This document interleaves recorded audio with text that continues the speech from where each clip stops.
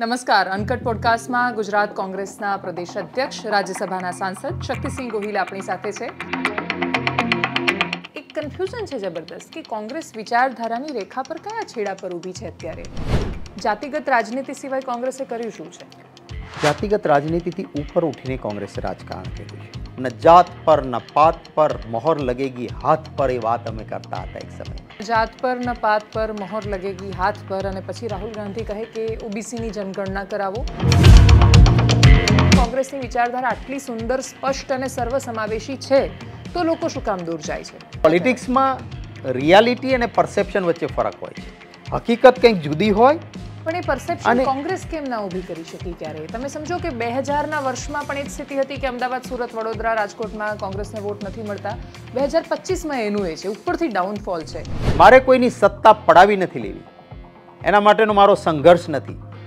આ સેવાની સાધના છે. ગુજરાતીઓના આશીર્વાદ મળે.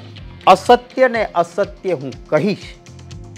વોટ બેંક પોલિટિક્સ માટે સમાધાન નહીં કરું. સ્વાર્થ માટેનો સંઘર્ષ નથી. પ્રદેશ અધ્યક્ષ બન્યા પછી સી પાટીલને મળ્યા છો?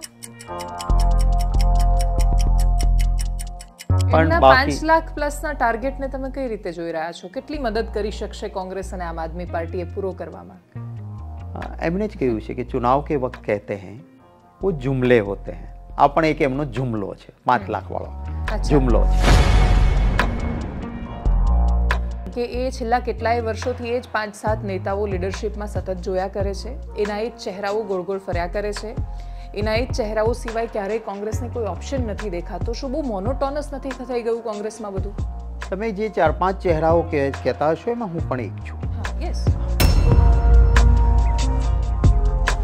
એ લોખંડી પુરુષના તસવીર સામે ઊભા રહીને મેં એ જ આશીર્વાદ માંગ્યા છે કે ગમે તેવો સંઘર્ષ આવે આપના જેવું લોખંડી મનોબળ આપજો. રાવણને કોઈ વિકાસ પુરુષ ન કહ્યો. નગરી તો એની સોનાની હતી નહીં દૂરથી જુઓ તો સોનાની નગરી લાગતી હતી કારણ કે રાવણના ચાહિતા રાક્ષસોના મહેલ સોનાના હતા. ગુજરાતે એમના ભારતીય જનતા પાર્ટીની સરકારે દસે દસ વર્ષમાં દર વર્ષે ખૂબ સારું કર્યું છે એમના મિત્રો માટે. એક તક ગુજરાતમાં કોંગ્રેસને આપો અને તમને દર પાંચ વર્ષનો અધિકાર છે.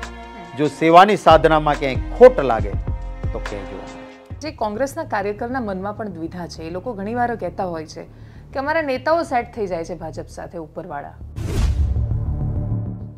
ઝારખંડના મુખ્યમંત્રી નોટિસ આપ્યા પછી ઈડીમાં ન હાજર થયા તો એની ધરપકડ થઈ ગઈ. અને દિલ્હીના મુખ્યમંત્રી એની સાથે સોદો થયો છે.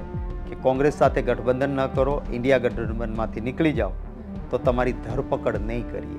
છેલ્લા પચીસ વર્ષની પણ વાત કરીએ, એના પહેલાંનું પણ છોડી દઈએ, તો વિપક્ષ તરીકે તમે પાંચ એવી સક્સેસ સ્ટોરી આપી શકો પોતાની કે જેમાં એવું લાગે કે નહીં, કોંગ્રેસે આ મુદ્દાને ઉપાડ્યો અને પછી એને અંજામ સુધી પહોંચાડ્યો. ઉદાહરણ તરીકે પાટીદાર આંદોલન, હાર્દિક પટેલ અને સમાજે શરૂ કર્યું.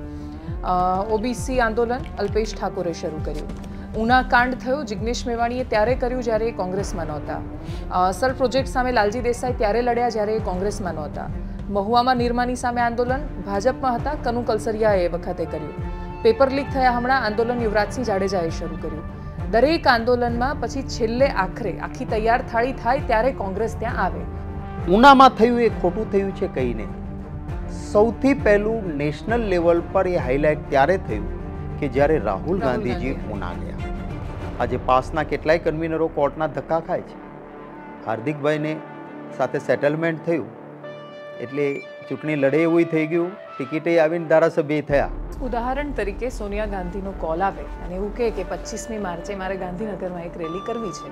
તો ગુજરાત કોંગ્રેસની અત્યારે એટલી ક્ષમતા ખરી કે વીસ પચીસ હજાર પચાસ હજાર લોકો ભેગા કરી શકે? તમારા ચેનલના કેમેરાઓ પણ આવશે રાહુલ ગાંધીજી હમણાં પાંચ દિવસ ગુજરાતમાં આવવાના છે. પ્રેમ છે જ લોકો. અને એન્ટી બીજેપી ભીડ એ જ ભીડ કોઈ દિવસ ગાંધીનગરમાં કેમ નથી દેખાતી કે જે જનતાના મુદ્દા પર લડતી હોય? આ ભારતીય જનતા પાર્ટી. નહીં પણ વીસ હજારની ભીડ ઉદાહરણ તરીકે ગાંધીનગર જાય તો સરકાર શું કરી શકે? કેવી રીતે જશે? જશે ક્યાંથી? ગાંધીનગરમાં ઉગી તો નહીં નીકળે. હું તમને એમ કહું છું હું તમને હું- હું તમને પેપર લીક આંદોલન થયું. હું તમને